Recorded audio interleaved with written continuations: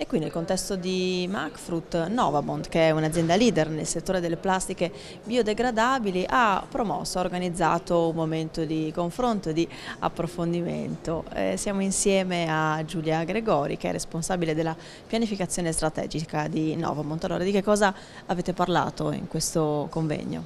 Nel convegno di oggi abbiamo eh, parlato di quello che è il modello di sviluppo della bioeconomia in Italia, Abbiamo pensato di parlarne insieme agli attori principali eh, della filiera, che sono gli agricoltori, che sono le organizzazioni agricole, che sono i consorzi agrari, che è anche la grande distribuzione, che intorno allo sviluppo delle bioplastiche e dei prodotti a basso impatto ambientale sta creando una filiera virtuosa eh, e di valore per, per l'Italia. Quindi siamo partiti da Novamont col modello di sviluppo che parte dalle risorse rinnovabili e con tecnologie proprietarie italiane brevettate, sviluppa bioplastiche partendo da materie prime del territorio, materie prime nazionali e quindi producendo bioplastiche lavora insieme ai diversi attori della filiera, gli agricoltori, mettendo a punto soluzioni per diversi settori applicativi. Il telo di pacciamatura, è stato presentato un caso eh, molto interessante di utilizzo del telo di pacciamatura per il pomodoro eh, da industria, sono stati mostrati risultati interessanti sui biolubrificanti, su eh, agricoltura biologica da piccoli produttori e adesso eh, abbiamo concluso con una tavola rotonda dove anche la grande distribuzione, c'era era il rappresentante di Coppa Italia, ha raccontato dell'importanza di prodotti che arrivano dall'agricoltura che abbiano anche un imballaggio eh, di questo tipo e abbiano una filiera costruita in questo modo. Sono temi in linea con le sfide che aspettano l'agricoltura, cioè produrre di più, con più qualità, ma con, eh, ma con basso impatto ambientale. Sì, diciamo che eh, abbiamo un po' l'ambizione di eh, contribuire a questa a parte delle, degli obiettivi che eh, l'agricoltura ha e crediamo che questi materiali possano aiutare eh, questa eh, produzione a basso impatto ambientale, riduzione dei rifiuti e allo stesso tempo una diminuzione anche delle emissioni CO2 attraverso l'utilizzo di eh, colture agricole nei eh, processi di produzione delle plastiche. Al convegno qui di Novamont organizzato nel contesto di Macfrut è intervenuto anche Albano Agabiti che è il presidente di Coldiretti Umbria. In che modo gli agricoltori, in che modo il mondo agricolo risponde a queste nuove tecnologie a basso impatto ambientale? Beh, sicuramente c'è un interesse nell'utilizzazione di questi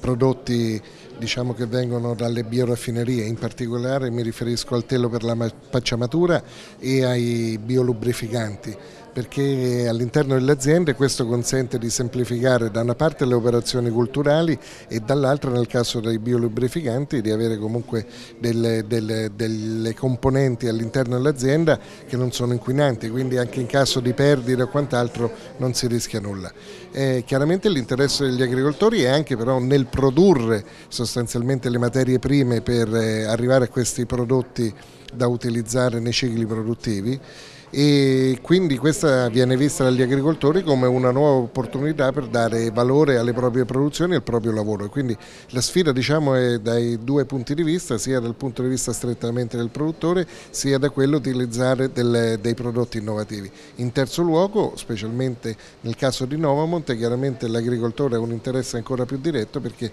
una delle fasi industriali è in compartecipazione tra il mondo dell'industria e il mondo dell'agricoltura. Ringraziamo Albano Agabiti, presidente di Coldiretti Umbria e diamo il benvenuto a Luciano Trentini che è il presidente della, della REFL, che è l'associazione delle regioni ortofrutticole europee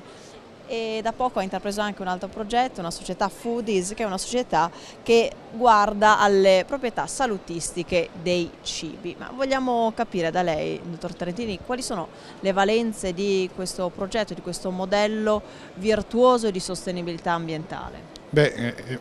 l'utilizzo delle plastiche biodegradabili è un, eh, ormai da diverso tempo che se ne parla e credo che ormai sia finita quella che è la parte diciamo, sperimentale in quanto tale e siamo passati alla fase applicativa. Naturalmente è indubbio il vantaggio che, eh, che si unisce all'utilizzo di questo prodotto perché sono plastiche che non devono essere recuperate, quindi sono compostabili, quindi sono biodegradabili, quindi l'agricoltore non deve fare altro che eh, prenderle e interrarle al momento del fine raccolta. Questo è sicuramente un vantaggio importante dal punto di vista economico. Mette anche in condizione molte aziende di accelerare quelli che sono i cicli produttivi, perché naturalmente prendere la plastica, asportarla dal terreno, pulirla per poi riciclarla eh, è un impegno economico importante. Quindi quelli che sono eh, diciamo così, i maggiori costi dovuti all'acquisto del biodegradabile, della plastica biodegradabile per pacciamatura vengono annullati da quelli che sono i risparmi diciamo, sotto questo aspetto.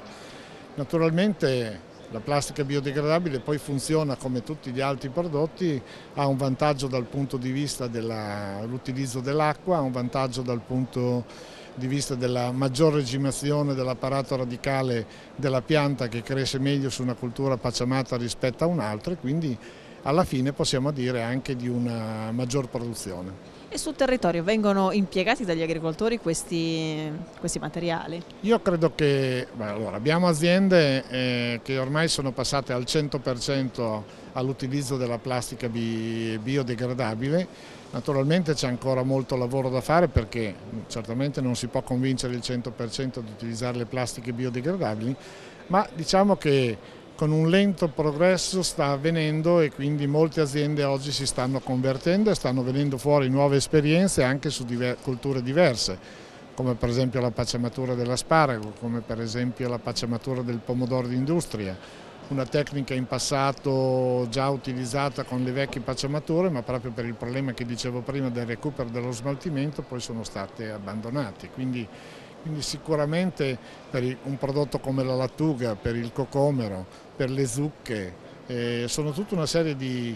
eh, produzioni che possono godere dei vantaggi di questi benefici, soprattutto le culture di secondo raccolto e anche qui vorrei dire che molte volte sono, sono, diciamo, gli agricoltori hanno coltivato specie in secondo raccolto proprio grazie anche all'utilizzo della plastica biodegradabile perché al momento della raccolta della plastica non aveva necessità di tirarla, di asportarla quindi, quindi era conveniente fare questo. Grazie a Luciano Trentini, restate con noi perché Verde Nord-Est continua.